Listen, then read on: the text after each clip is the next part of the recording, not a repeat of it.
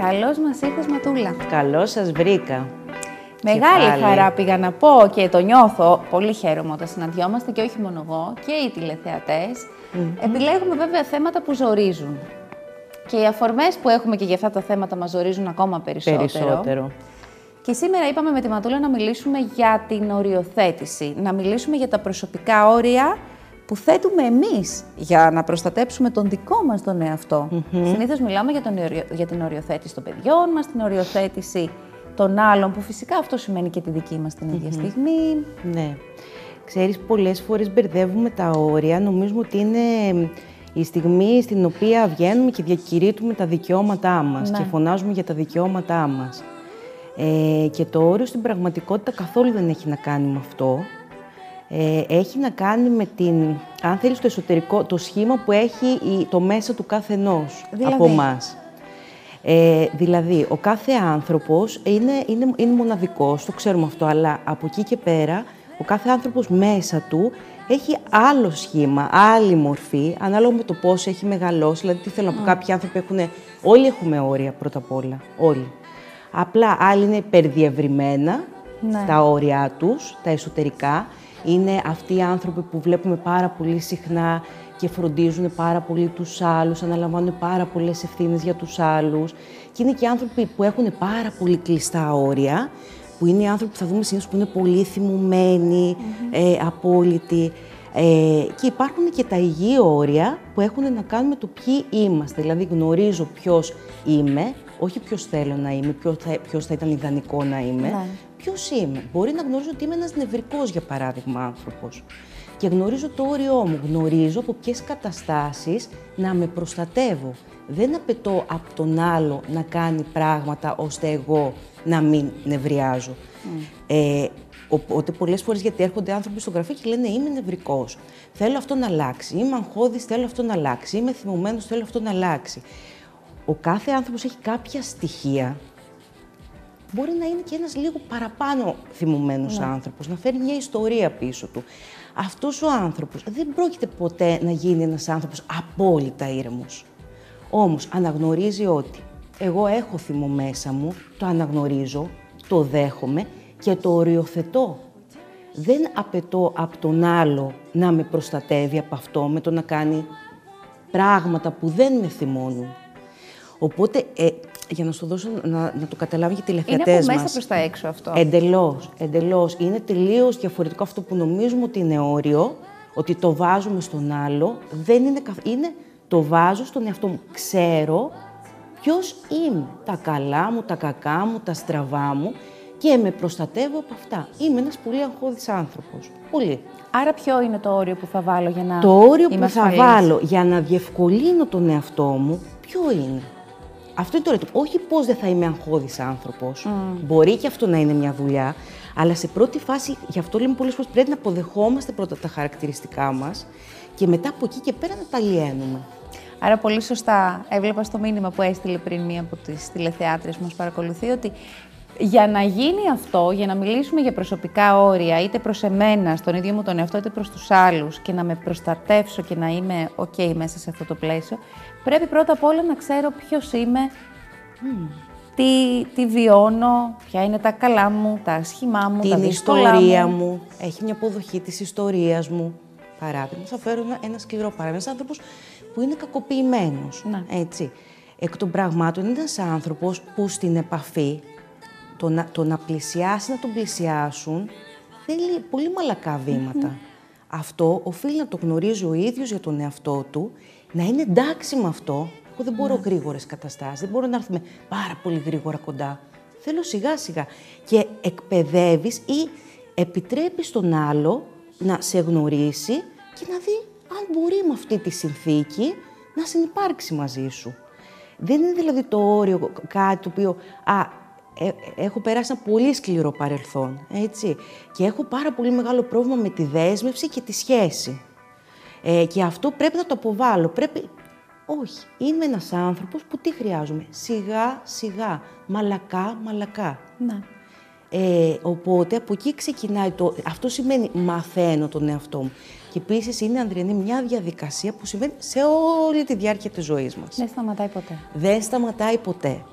Αυτό που πολλές φορές θα έρθουν ε, παιδιά ηλικίας 25 ετών και θα πούν δεν έχω όρια,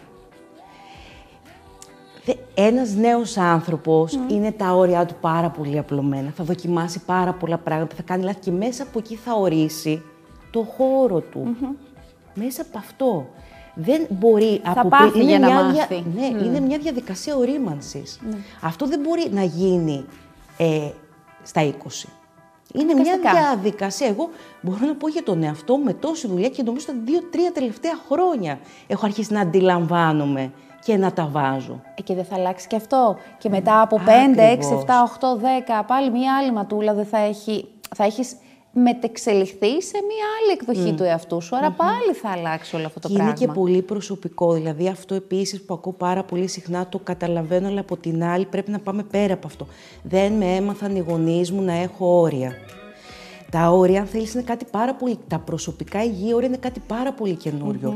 Όχι πολύ πριν από εμάς. Εγώ θυμάμαι και η γενιά των δικών μας. Τα όρια τα έθετε ο ρόλος. Η μαμά, η, η, η γυναίκα υπάκουε στον άντρα, το παιδί στο γονιό, στο δάσκαλο, ε, οι γονείς στον ε, ε, παπά. Αυτό ήταν οριοθέτηση αυτόματα. Ξεκάθαρη. Ξεκάθαρη. Οι άνθρωποι λοιπόν μεγάλωσαν, οι γενιές των γονιών μας, μέσα από αυτό ότι ήταν, δεν υπήρχε η έννοια του προσωπικού ορίου που είναι υγιές. Είναι πολύ καινούριο και μια, μια καινούρια πρόκληση ε, για τους ανθρώπους της γενιάς μας και φυσικά θέλει μια ζήμωση, θέλει μια διαδικασία. Δεν είναι Ματούλα. εύκολο να το κάνεις Εάν αυτόματα. λοιπόν έχω κάνει αυτή τη ζήμωση, έχω κάνει αυτή την πολλή δουλειά με τον εαυτό μου, έχω αναγνωρίσει τα χαρακτηριστικά μου, έχω βάλει τα όρια μου, τα δικά μου, από μέσα προς τα έξω. Αυτά τα όρια, ας υποθέσουμε ότι είναι αυτό εδώ το πραγματάκι, το από Ναι. μέσα προς τα έξω. Εγώ τα βλέπω από εδώ, εσύ που είσαι ο απ' έξω, βλέπεις το ίδιο όριο από εκεί; Το είναι το όριό ίδιο, είναι μου- η ίδια διαδικασία; Το όριό μου, αφού ξέρω ποιο είναι το όριό μου, το επικοινωνώ. Και τι εννοώ το επικοινωνώ, τι γίνεται; Αυτό που, το συχνότερο πράγμα που βλέπουμε στις σχέσεις, έτσι. Αρχίζουμε και μιλάμε για τα όρια μας όταν πια είναι στο τέλος τους, όταν πια το θέλουμε έχουμε να χωρίσουμε. ξεπεράσει όταν, όταν, όταν. Εκεί λοιπόν βάζουμε, βάζουμε ή θέτουμε τα όρια μας ε, για να απομακρυνθούμε από τον άλλο. Τέλος. Οπότε έχει σημασία ποια χρονική στιγμή τα θέτουμε τα όρια. Α, τα θέτουμε στην αρχή, στη μέση ή στο τέλος. Συνήθως στο τέλος η πρόθεση είναι να χωρίσουμε. Η πρόθεση δεν είναι να λύσουμε κάτι. Ε, τα όρια είναι κάτι που το επικοινωνούμε με τον άλλο και ακούμε ταυτόχρονα και το δικό του. Και είναι δύο κύκλοι. Μπορούν κάπου εκεί να έχουν ένα σημείο επαφής καλό. Αλλά δεν μπορούμε να ζητάμε τον άλλο άνθρωπο. Πολλές φορές το ζητάνε τα ζευγάρια ο, ο ένας κύκλος να μπει με- μέσα στον άλλο. Τα δικά μου τα όρια είναι τα σωστά, σου λέω. Ναι, ναι, Πρέπει να είναι πάρα πολύ τακτοποιημένο το σπίτι. Αυτό είναι το σωστό, να είναι καθαρό. Και είναι ο άλλος και πετάει παντού πράγματα.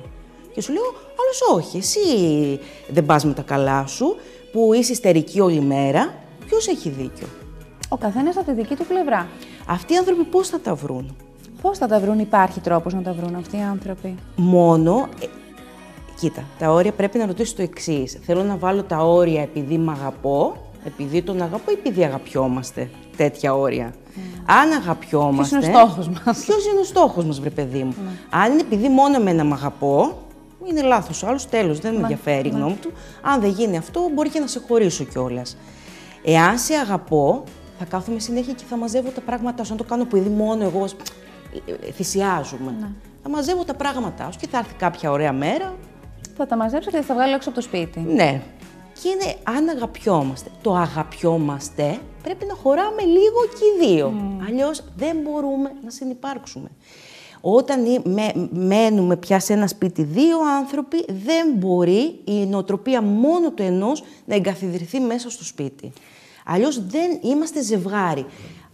Χρησιμοποιούμε τον άλλο για να μας προστατεύει. Ναι. Εξυπηρετεί ο ένας κάποιες ε, ανάγκες του άλλου.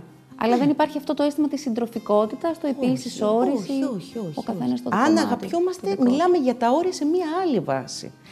Άρα σε μία σχέση υγιή, όχι μόνο συντροφική, σε μία σχέση Σε οποιαδήποτε ανθρώπινη. σχέση. Όπου έχει υγιείς βάσεις και υπάρχει όλο αυτό το, το, το στοιχείο που περιγράφεις.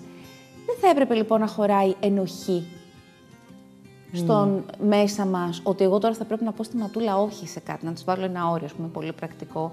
Αλλά νιώθω ενοχές, δηλαδή βλέπω και μου το στέλνουν συνεχώς αυτό. Ε, με αφορμή την κουβέντα μας. Νιώθω ενοχές όταν θα βάλω το όριο, όταν θα αρνηθώ, όταν θα πω όχι, όπως οριοθετεί ο καθένας. Άκου, Ανδριανή μου, αυτό που το λέω πάρα πολύ συχνά και στους πελάτες μου είναι δυστυχώς Ναι. αυτό το στάδιο δεν μπορούμε να το παρακάμψουμε. Δηλαδή, όταν ένας άνθρωπος αποφασίζει ε, τι όρια θέλει να βάλει, για ποιο λόγο θέλει να τα βάλει αυτά τα όρια, σε ποιον θέλει να τα βάλει και είναι ξεκάθαρο μέσα του, από τη στιγμή που θα αρχίσει σιγά σιγά να πειραματίζεται και να το κάνει, η ενοχή θα είναι εκεί. Απλά τι συμβαίνει. Η δυσφορία, όσο συνεχίζουμε και το κάνουμε σταθερά και εκπαιδεύουμε τον εαυτό μας αυτό, η δυσφορία όλο και καταλαγιάζει, οι ενοχές όλο και καταλαγιάζουν. Μην, δεν μπορούμε να περιμένουμε ή να πετούμε από τον εαυτό μας ότι θα σηκωθούμε μία μέρα, θα είναι όλα τόσο ξεκάθαρα, θα βάλουμε όρια ξαφνικά, θα, θα επικοινωνήσουμε όρους και δεν θα έχουμε καμία ενοχή. Και μόνο που μπαίνουμε στη διαδικασία να, να βάλουμε, να ξαναμιλήσουμε σε άλλες βάσεις, αυτό και άρα θα διαταράξουμε την ισορροπία, έχουμε την αίσθηση ότι είναι λάθος. Και ε, προκύπτει ενοχή, δηλαδή, πώς να σου πω, είναι και λίγο αναπόφευκτο συνέστημα. Όταν ε, θα πάμε να βάλουμε τα όρια και θα νιώθουμε ενοχή. Δεν γίνεται να τα βάλουμε χωρίς να Σε νιώθουμε. ζορίζει αυτό.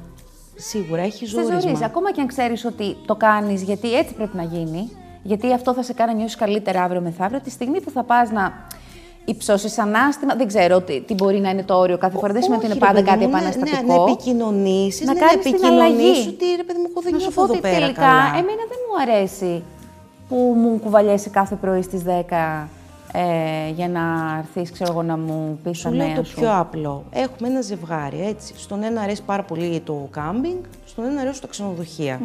Ο άλλος αφού παντρευτεί πια και μπει σε αυτή τη διαδικασία, αποφασίζει ότι το θέμα κάμπινγκ το θάβει. Και πηγαίνει συνέχεια στα ξενοδοχεία. Έτσι με τον σύζυγό του που του ή τη σύζυγό του που του αρέσει αυτό το πράγμα. Και κάποια στιγμή αποφα... και έχουν συνηθίσει ότι αυτές είναι οι Ναι, διακοπές. ναι. Ο άλλο καταπιέζεται. Ο, ο σύντροφος μας όμως δεν το ξέρει ότι εμείς καταπιεζόμαστε. Και κάποια στιγμή για δικούς μας λόγους αποφασίζουμε ότι ρε παιδί μου, όχι, εγώ θέλω να το ξαναβάλω αυτό το πράγμα στη ζωή μου. Δεν θα διαταράξει τις ισορροπίες σε πρώτη φάση. Ε, βέβαια. τις Και μόνο που θα το διαταράξει. πεις και μόνο που θα ανακαλύψει ο άλλος ότι εσύ Ξαφνικά. ακόμα... ακόμα το έχεις μέσα σου και δεν Έχεις είναι τη σκηνή στο σε, υπόγειο. σε πιο απλά πράγματα. Ναι. Διαταράσσονται οι ισορροπίες. Αυτό φυσικά μας ταράζει και εσωτερικά όταν πρόκειται να μπούμε στη διαδικασία να το κάνουμε. Δεν υπάρχει σε πρώτη φάση αυτό που λέμε το κάνουμε και νιώθω τόσο ήρεμο μέσα μου. Αυτό έρχεται στην Σπάς τα πορεία. αυγά. Στην πορεία θα έρθει. Τώρα, το ότι νιώθουν ενοχές οι άνθρωποι να βάλουν όρια, εκεί είναι η ανάγκη τους να προστατεύσουν τον εαυτό τους ε, από τον να, μην, να νιώσουν ότι τους αντιπαθούν οι άλλοι, να μην το νιώσουν δηλαδή αυτό, να νιώσουν ότι δεν τους εγκρίνουν οι άλλοι, ε, να νιώσουν ε, ότι δεν είναι αρκετά καλά παιδιά. Άρα, στο τέλος φτάνουμε ότι άρα ο άλλος δεν θα με αγαπάει. Μία αποδοχή. Οπότε εκεί δεν έχουμε τόσο πολύ να δουλέψουμε με την ενοχή, όσο με το, με, με το πόσο πολύ εξαρτημένοι είμαστε από, την, εικο- από τη γνώμη, από αυτό που θα μας δώσει ο άλλος, για να νιώθουμε καλά με τον εαυτό μας. Ναι. Εκεί λοιπόν πρέπει να εστιάσεις. Ε, εκεί εστιάζουμε. Γιατί σίγουρα, Ανδριανή, το να, το να, να επικοινωνούμε τα όρια μας μας κάνει καλύτερους ανθρώπους και κάνει τις σχέσεις μας καλύτερες, υγιείς, διότι διαφορετικά τι κάνουμε, συσσωρεύουμε συναισθήματα θυμού, απογοήτευσης και αυτά συσσωρευτικά φτάνουμε, μπορεί να φτάσουμε σε ένα σημείο πια που είμαστε, νιώθουμε πάρα πολύ θυμωμένοι, που παθαίνουμε κατάθλιψη, που αδρανοποιούμαστε, που ξαφνικά νιώθουμε ότι δεν νιώθουμε τίποτα. Ματαιότητα σε ναι, όλα. ένα κενό. Δηλαδή αυτό σε βάθος χρόνου δεν υπάρχει περίπτωση να μην λειτουργήσει αρνητικά για τη σχέση. Όταν εγώ καταπιέζομαι, σε καμία περίπτωση δεν έχω υγιή σχέση. Ματούλα, θα σου κάνω την ερώτηση της εβδομάδας. Γίνεται ένας άνθρωπος που νιώθει ότι ο άλλος υπερβαίνει σε πολύ μεγάλο βαθμό τα όρια του, να μην έχει τη δύναμη να πει όχι; Ευθεία αναφορά στην περίπτωση της Μπεκατόρου. Όλοι την έχουν στήσει στον τοίχο και γιατί δεν τον απέτρεψε να τη βιάσει. Και γιατί δεν του είπε φωναχτά όχι να τον σπρώξει, να τον διώξει, να φύγει. Όχι, όχι, δεν ισχύει αυτό το πράγμα. Μπορεί ένας άνθρωπος να μην μπορεί να το πει. Σε ευχαριστώ πάρα πολύ. Εξήγησέ μας το αυτό. Ε, μπορεί να φοβάμαι πάρα πολύ εκείνη τη στιγμή. Ε, και, και συνήθως ο, ο φόβος, άνθρωποι που σε τέτοιες κακοποιητικές συνθήκες δεν βάζουν το όριό τους, δεν λένε όχι Ναι. ή αφού γίνει να πάνε να μιλήσουν, γιατί νομίζω και γι' αυτό, γιατί τώρα... και ο- Επίσης, γι' αυτό έχει κατηγορηθεί, Ναι. γιατί μετά από τόσα χρόνια. ναι. Ε, μπορεί ένας άνθρωπος να φοβάται πάρα πολύ, να μπορεί να αναρωτιέται αν το προκάλεσε με κάποιο τρόπο, άρα να νιώθει τύψεις, ενοχές, να αναρωτιέται. Συνήθως αυτοί οι, οι άνθρωποι που κακοποιούνται, ε, ανεξαρτήτου ηλικίας, φέρουν για πάρα πολύ μεγάλο διάστημα την αίσθηση ότι φταίνε. Όταν λοιπόν απενοχοποιηθούν από αυτό και κα- καταλάβουμε ότι δεν φταίω για αυτό που έγινε, τότε πια μπορούν να μιλήσουν γι' αυτό. Μέχρι εκείνη τη στιγμή όχι. Γιατί αισθάνονται, ε, ε, εδώ, Ανδριανή μου, μ- μικρά παιδιά νιώθουν ότι, ότι φταίνε. Ενήλικες που κακο- νιώθουν ότι φταίνε, νιώθουν ότι το προκάλεσαν. Εκεί ε, ε, ε, υπάρχει μια τεράστια σύγκρουση με στον άνθρωπο. Πάρα πολύ δύσκολα ε, θα πει όχι. Είναι δύσκολο να πεις όχι. Κάποιες φορές είναι... Ειδικά για όταν κάποιους έχεις ένα ανθρώπους πρόσωπο εξουσίας δεν- απέναντί Ναι. σου. Ε, στο πρόσωπο εξουσίας ο καθένας αντιδρά διαφορετικά. Κάποιοι άνθρωποι κινητοποιούνται. Κάποιοι άνθρωποι εννοείται ότι θα κάνω αυτό που μου λες. Δηλαδή, εκεί, σε ένα πρόσωπο εξουσίας, ο καθένας μας πάνω του, πώς να σου πω, ενεργοποιούνται όλα του τα τραύματα. Που ε, αυτό έχει χτιστεί από την πρώτη στιγμή που βρέθηκε σε αυτό το πλανήτη. Ακριβώς, ακριβώς. Οπότε εκείνη τη στιγμή μπορεί να ενεργοποιήσει ένα πρόσωπο εξουσίας πάρα πολλά πράγματα. Το ότι σε ένα πρόσωπο εξουσίας δεν λέμε όχι. Ένα πρόσωπο εξουσίας έχει τη δύναμη να με καταστρέψει, να ορίσει τη ζωή μου. Έχει εξουσία. Τέλος, στην εξουσία δεν μπορεί κανείς να με κατηγορήσει γιατί δεν βρήκα το, το θάρρος να πω όχι. Δεν είναι τόσο εύκολο. Κακά τα ψέματα. Ας μην γελιόμαστε. Και υπάρχει ένας τρόπος που εμείς οι ίδιοι βλέπουμε τέτοια περιστατικά. Δεν σημαίνει ότι οι αναγωγές που κάνουμε αφορούν στο ίδιο το περιστατικό της κακοποίησης, του βιασμού, αλλά ζούμε μικρές και μεγάλες στιγμές κακοποίησης σε πάρα πολύ μεγάλο βαθμό όλη στη ζωή μας καθημερινά. Ε, υπάρχει τρόπος που εγώ μπορώ να σταθώ ας πούμε, μπροστά στον καθρέφτη και να μου αρχίσω εντατικά μαθήματα για να μάθω να λέω όχι ή να βάζω τα όρια μου, τα προσωπικά, προς εμένα και προς τους άλλους.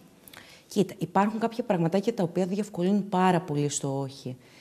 Ένα πράγμα που διευκολύνει στο όχι είναι ότι οι άνθρωποι συνήθως όταν τους ζητούν κάτι, αυτοί που δυσκολεύονται να πούν το όχι, α- α- αυτόματα είναι αυτοματοποιημένοι στο ναι.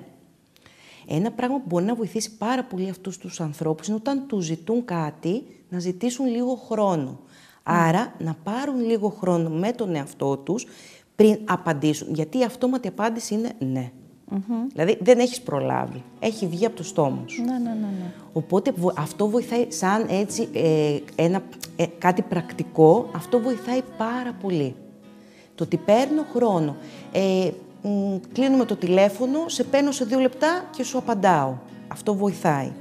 Κάτι άλλο που βοηθάει πάρα πολύ είναι όταν ένας άνθρωπος, έχουμε απέναντί μας έναν επίμονο άνθρωπο που μας λέει ας πούμε, μας παίρνει η μαμά μας και μας λέει την Κυριακή ελάτε να φάμε. Έχουμε κανονίσει εκδρομή. Μα έχω φτιάξει το φαγητό που σας αρέσει. Ε, και μα, μα βρε μαμά σου εξηγώ. Εκεί ε, υπάρχει μια άλλη τεχνική που λέγεται χαλασμένος δίσκος. Δηλαδή, Δηλαδή; όταν ο άλλος που μας πιέζει, ενώ εμείς το έχουμε ήδη πει ότι έχω κανονίσει κάτι άλλο, δεν μπορώ, ε, συνεχίζει να του θέτει το ίδιο θέμα, απαντάμε ακριβώς το ίδιο πράγμα. Έχω Έχουμε κανονίσει. κανονίσει να πάμε εκδρομή. Μα βρε, έχω φτιάξει και για τα παιδιά και έχω κάνει τόσο. Έχουμε κανονίσει να πάμε εκδρομή. Διότι τι γίνεται, αν εκεί το ανοίξω και με παρασύρει ο άλλος αυτό το άνοιγμα, μα βρε, μαμά σου είπε κανείς να φτιάξεις για τα παιδιά φαγητά, σου είπαμε εμείς ότι θα. Ε, ο άνθρωπος έχει που τέλος αυτό. δυσκολεύεται να πει όχι, γι' αυτό, γι αυτό το λέμε, το, το μαζεύει τον εαυτό του. Μπαίνει μετά ε, πάρα πολύ εύκολα σε μια κατάσταση που μπορεί να χαθεί Ναι, πάλι. ναι, αυτό καταλαβαίνω. Χαλασμένο δίσκο. Είναι η κόλληση κασέτα. Ναι, αυτά είναι τα μικρά τα tips για τα απλά Ναι, τα είναι καθημερινά. μικρά tips που όμως, που όμως Ανδριανή μου βοηθάνε. Μας χτίζουν λίγο, λίγο, λίγο την πανοπλία μας για την επόμενη φορά που ίσως χρειαστεί να πούμε ένα πάρα πολύ μεγάλο όχι, που μπορεί να αφορά κάτι καθημερινό ή να αφορά κάτι που μας απειλεί πολύ περισσότερο, μπορεί να απειλεί τη σωματική μας ακαιρεότητα ακόμα ακόμα, την ψυχική μας ηρεμία και ισορροπία και αρμονία και μπορεί να μας καταπατά τα δικαιώματά μας. Είναι χιλιάδες όλα αυτά. Μα του λες ευχαριστώ πάρα Και πολύ. εγώ ευχαριστώ πάρα πολύ. Να είστε καλά, είστε Καλό καλά. βράδυ. Ευχηθούμε.